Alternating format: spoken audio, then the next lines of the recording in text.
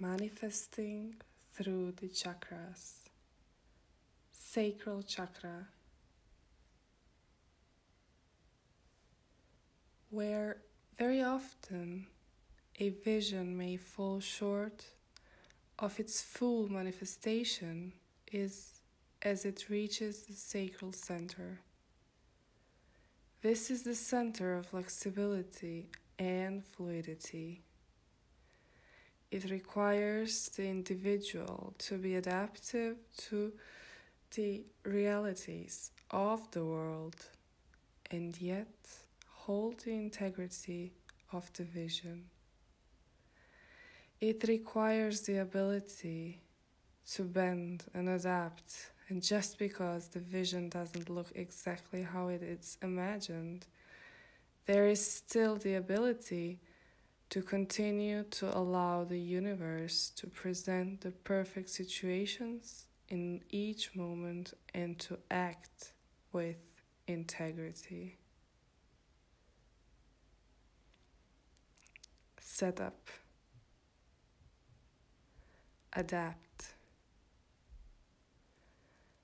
This is both your inspiration energy and your ability to stay fluid and adaptable when setbacks arise and you need to adjust.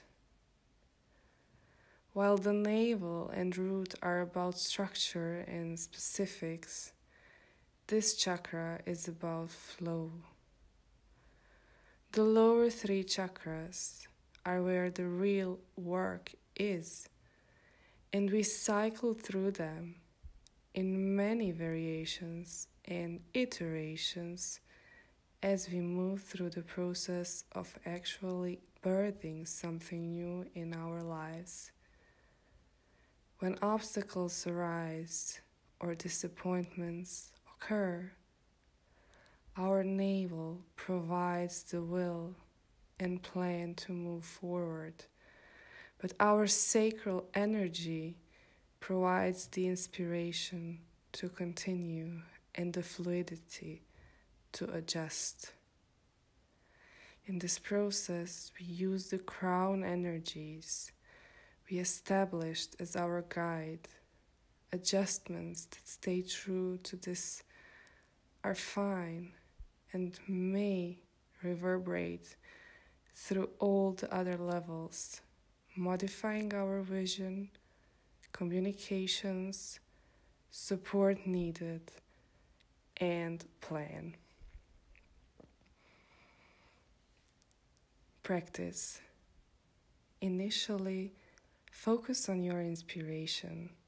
This is probably closely tied to the crown chakra energies you identified, but is more the why than the what.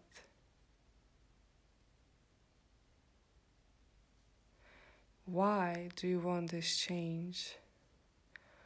What inspires you to birth it? In the iterative phase, this changes. Instead, focus on letting go of your original plan and adjust and adapt based on what you have learned from your setbacks or obstacles. Blocks, calls to heal, rigidity, hopelessness patterns of giving up, discouragement, joylessness, stagnation, stuckness, cycles of shame, self blame, feminine conditioning that says you can't have what you want.